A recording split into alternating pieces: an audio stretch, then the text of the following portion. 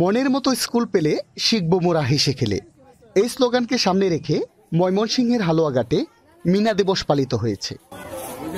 মিনা দিবস উপলক্ষে মঙ্গলবার সকালে শিক্ষা অফিসের আয়োজনে উপজেলা চত্বর থেকে বর্ণাঢ্য রেলি বের করা হয়। রেলিটি পৌর শহরের প্রধান প্রধান সড়ক প্রদক্ষিণ শেষে একই স্থানে এসে শেষ হয়। রেলিতে বিভিন্ন বিদ্যালয়ের শিক্ষক শিক্ষার্থীরা অংশগ্রহণ করে।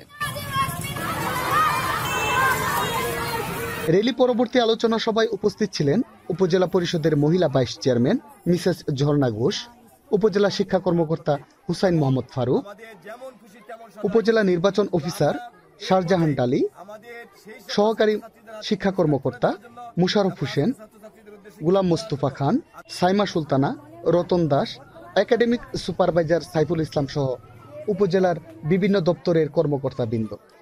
পরে চিত্রাঙ্কন প্রতিযোগিতায় বিজয়ীদের মাঝে পুরস্কার বিতরণ করা হয়। মাঝারুল ইসলাম মিশু সিআইটিভি